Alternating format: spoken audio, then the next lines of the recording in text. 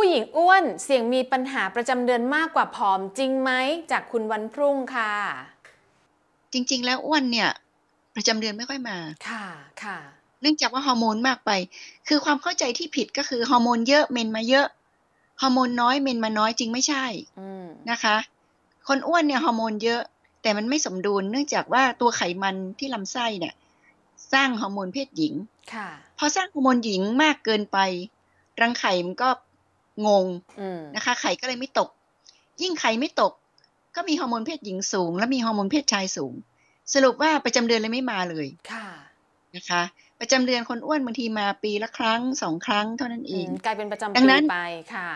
ใช่ข้อที่หนึ่งคือคนอ้วนอาจจะประจำเดือนไม่มานี่สองคนอ้วนตกเลือดก็มีประจำเดือนมามากเกินก็มี เพราะเมื่อกี้เราพูดแล้วคนอ้วนเนี่ย ไขมันสร้างฮอร์โมนนะคะ ฮอร์โมนนี่เป็นฮอร์โมนเพศหญิงระดับสูง ก็ไปกระตุ้นโพรงมดลูกหนาเขาที่ตกเลือดค่ะฉะนั้นคนอ้วนมีสองแบบคือหนึ่งเมนไม่ค่อยปกติในหมายถึงดัชนีมวลกายเกิน 30 ขึ้นไปนะคะน้องตังคืออ้วนเลยค่ะนิดหนึ่งก็คือเมนไม่ปกติคือ อาจจะไม่มามาน้อยหรือมามากก็ได้อืมถ้ามีอาการพวกนี้ต้องรักษาค่ะค่ะ เพราะว่าต้องไปปรับฮอร์โมนจริง ๆ ก็คือต้องปรับความอ้วนอ่าปัจจุบันนี้เมืองไทยเนี่ย นะคะคุณน้องตังก็คือคนอ้วนเยอะมาก เยอะค่ะมองไปเนี่ยเห็นเลยหลาย ๆ คนเลยทีเดียว ใช่ทั้งผู้หญิงผู้ชาย แล้วก็ถ้าอ้วนนี่จะอ้วนกันทั้งบ้านเลย ค่อยชวนกันไปกินนะคะค่ะกินหมูกระทะเชลีถามว่ากินอะไรถึงอ้วนเขาบอกกินหมูกระทะ ยิ่งเป็นนะคะบุฟเฟ่ต์นี่โอ้โหนะคะ คุณหมอ ใช่ใช่เจ้าของร้านอาจจะต้องต้องดูเหมือนกันนะคะ แต่ไม่ไม่หรอกเจ้าของร้านบางแห่งเขาก็โอเค กินเยอะๆแต่กินเยอะกันจริง แล้วก็สมัยก่อนหนึ่งในห้าอ้วนค่ะนะคะ ยี่สิบปีที่แล้วหนึ่งในสิบอ้วนโอ้คนอ้วนเนี่ยตอนชมรีเด็ก ๆ เนี่ย ถึงกันลุมดูกันเลยนะน้องตังเออตอนตอนชมรียังเล็ก ๆ แม่จูงไปไหนเนี่ย เห็นคนอ้วนก็ไปยืนดูเขาโหทำไมอ้วนอย่างนี้อะไรเงี้ยแสดงว่าแต่ก่อนแต่ปัจคจุนบัอ้วนนน้อยมากอืมใช่ปัจจุบันถ้าไปยืนดูเขาสงสัยจะโดนนะคะ โดนต่อว่า ก็สรุปว่าปัจจุบันเราอ้วนอ้วนมากเลยห้าห้าคนอ้วนหนึ่งคน แล้วจะเริ่มห้าคนอ้วนสองคนเหมือนอเมริกาละค่ะซึ่งอันนี้ ความอ้วนเนี่ยนะคะ เมื่อกี้น้องตังพูดเรื่องประจำเดือน แต่จริงๆความอ้วนนี่เป็นปัญหาสุขภาพมากอืมนะคะ โควิดมาค่ะนะคะ คนอ้วนถ้าติดเชื้อโควิด ก็เสี่ยงอันตอันตรายต่อสุขภาพมกค่ะไข้เลือดออกมาอ๋อ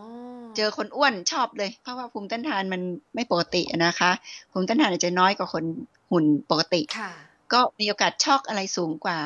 คนที่ ผอม สรุปอ้วนนี่มีปัญหาสุขภาพ แล้วเมื่อกี้เราพูดเรื่องอย่างเดียวคือประจำเดือนค่ะจริงๆมีปัญหาสุขภาพทั้งหมด 6 อย่างโอ้นะคะมีอะไรบ้างคะคุณหมอ อันหนึ่งก็คือเป็นเบาหวานเบาหวานนะค่ะโรอ้วคนยเสี่อยดงฮิตเบาหวานเลยค่ะ ใช่ปัจจุบันประชากรเรามีเบาหวาน 20%อืมเยอะเชียวทีเดียวนะคะค่ะอันที่สองก็คือความดันโลหิตสูงค่ะนะคะ อันที่สามโรคหัวใจ นะคะ เวลามีคนอ้วนมาหาชนรีเนี่ยโดยเฉพาะผู้หญิงเนี่ยซึ่งอืมซึ่งมาด้วยเรื่องประจำเดือนผิวปกตินะคะ ก็จะบอกเขาว่าเนี่ยมีทั้งหมด 6 อย่าง อันที่ 3 คือโรคหัวใจค่ะให้ดูนะคะ ก็ไม่ได้ว่าก็คือเมื่อก่อนเรามีตลกอ้วนๆเลยนะคะอ๋อเขาก็สนตลกสนุกสนานแต่พออายุ 20 กว่าเขาก็เสียชีวิตจากโรคหัวใจค่ะเนี่ยเขาจะเล่าให้ฟังว่าคนอ้วนเนี่ย ไม่ใช่ว่าจะแข็งแรงนะคะอืมอันที่3ก็คือหัวใจหัวใจอันทีสี่4คือไขข้อไขข้อค่ะ คนอ้วนปวดข้อนะคะ อายุ 20 ปีเนี่ยนะคะ เดินไม่ค่อยไหวแล้วแล้วก็ขึ้นกระไดสองชั้นเนี่ยอืมเนื่องจากเป็นนั่งหัวใจไขข้อเดินไม่ไหวแล้วค่ะเหนื่อยอืมขึ้นสองชั้นเนี่ยหอบทันทีนะคะคนอ้วนนี่ต้องขึ้นลิฟต์ตลอดนะคะ ซึ่งเราก็บอกเอออ้วนดีเดินเนาะจะได้เขาเดินไม่ไหวนะคะ ก็ค่ะเป็นเรื่องไขข้อ เรื่องต่อไปก็คือเรื่องของฮอร์โมนก็คือคนอ้วนถ้าเป็นผู้หญิงค่ะนะคะ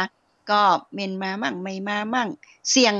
เนื่องจาก ฮอร์โมนสูงเสี่ยงมะเร็งเต้านม และมะเร็งโพรงมดลูกอืมนะคะ คนอ้วนผู้ชายนะคะ ก็เสี่ยงนะคะ เสี่ยงต่อโรคหัวใจไขข้อ แต่ว่าเรื่องของฮอร์โมนก็คืออาจจะนะคะ เรื่องของเพศสัมพันธ์ค่ะนะคะ เรื่องของอสุจิค่ะถ้าอ้วนมากเกินนะคะอืมเวลาอ้วนมากเกินนี่จะกรนกลางคืนค่ะนะคะขาดขาดอากาศหายใจ แล้วบางคนก็หยุดหายใจเป็นหยุดช่วงหายๆใจอืมใช่ค่ะอันนี้ก็ทำให้อ่าทางทางการเรื่องเกี่ยวกับการสืบพันธุ์เนี่ย จะมีประสิทธิภาพน้อยลง แล้วข้อสุดท้ายคือความอ้วนสัมพันธ์กับมะเร็งโอ้โดยเฉพาะผู้หญิงนะคะ มะเร็งที่ชอบฮอร์โมนมากนะคะ มะเร็งเต้านมอืมมะเร็งโพรงมดลูก มะเร็งรังไข่ค่ะซึ่งความอ้วนสัมพันธ์หมดดังนั้นพอพูดถึงเรื่องความอ้วนนั้นบางทีเราเดือดร้อนเรื่องประจำเดือนอย่างเดียวนะคะ แล้วก็มาหาหมอได้เรื่องประจำเดือนอย่างเดียว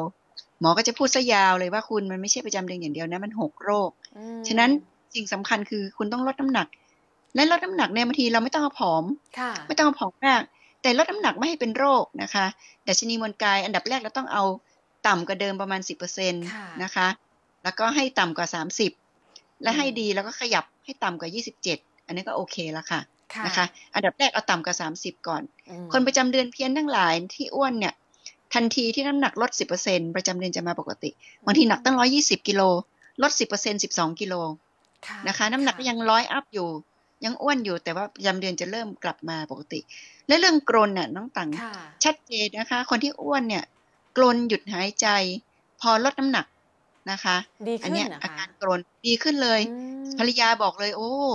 ลดน้ำหนักแล้วได้ผลดีมากจากนอนกันไม่หลับนะคะ เนื่องจากว่าเวลากรนเนี่ยนะคะ อีกฝ่ายก็ต้องนอนไม่หลับนะคะ ก็ ดีขึ้นมากเลย ก็นอนหลับกันทั้งบ้านนะคะ ค่ะ ส่วนดัชนีมวลกายก็เข้าใน Google นะคะ ก็มีหลายหลายหลายหลายเว็บเลยค่ะคำนวณให้เสร็จสับโดยดูนะคะว่าถ้าน้ำหนักเยอะเนี่ยก็ควรจะลดลงมาให้เป็นน้ำหนักที่กำลังพอดีนะคะ หลายๆ คนต่างเชื่อว่ารู้แหละว่าตัวเองอ้วนนะคะ ยังไงก็ตั้งใจในการที่จะลดน้ำหนักเพราะว่ามันจะดีต่อเรื่องของสุขภาพทั้งหมดโดยรวมเลยนะคะ คุณหมอคะแล้วคนผอมนะคะ คุณหมอจะมีปัญหาเรื่องประจำเดือนหรือว่าเรื่องผู้หญิงผู้หญิงไหมคะ โอ้ใช่ค่ะ เมื่อกี้เราพูดถึงว่าอ้วนประจำเดือนไม่ค่อยมาค่ะผอมก็เหมือนกันค่ะอืมเป็นได้ทั้งสองแบบนะคะ ก็คือรังไข่ไม่ทำงานผอมนี่ก็เดชนีวันกายต่ำกว่าสิบเก้านะคะ ค่ะอ่าต่ำกว่าสิบแปดบางคนผอมมากเลย สูงร้อยหกสิบห้าหนักสี่สิบกิโลอะไรเงี้ยค่ะ เป็นนางแบบนะคะอืมประจำเดือนก็ไม่ปกติเช่นเดียวกันนะคะ ทีนี้การที่ประจำเดือนไม่ปกตินะคะ ก็จะส่งผลนะคะ อย่างบางคนก็สิวขึ้นเยอะอ่าเพราะมีเพศชายขึ้นเยอะนะคะ ก็อันนี้ก็สรุปผอมก็ไม่ดีโหบางคนในยน้ำหนักดัชนีมวลกายเนี่ยมันอยู่ในเกณฑ์ปกตินะ ไปลดความอ้วนอีกนะคะแขนเหลือจิตเดียวบอกคุณ คือเราไม่ต้องไปผอมมากหรอกเพราะเราไม่ได้เป็นนางแบบนะคะนางแบบเดี๋ยวนี้เขาก็รณรงค์นะน้องตังการบังคับนางแบบผอมมากเกินไปเนี่ยอืมนะคะ มันเป็นสิ่งที่ไม่ถูกต้องนี่เขาก็รณรงค์กันนะคะ ค่ะอ่ารูปร่างยังไงก็หลายๆ คนบอกว่าอยากจะผอมเพื่อจะให้ใส่เสื้อผ้าได้สวยๆ เหมือนนางแบบแต่จริงๆ แล้วเนี่ยก็มาดูว่าอะไรที่เหมาะกับเราบางทีเราอาจจะเป็นคนที่ผอมมากๆ แล้วดูไม่ดีก็ได้ อาจจะเจ้าเนื้อขึ้นมานิดนึง ยังไงก็หาน้ำหนักในจุดที่เหมาะสม แล้วก็ที่สำคัญเอาสุขภาพมาก่อนด้วยนะคะรักคืออะไร